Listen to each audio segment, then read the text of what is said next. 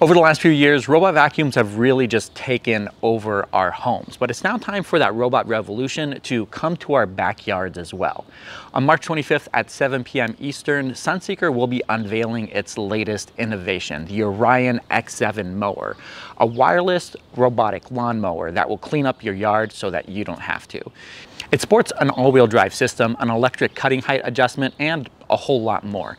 Be sure to follow at Sunseeker and subscribe to their YouTube channel as well for the latest updates. And don't forget to tune in on March 25th to win one for yourself.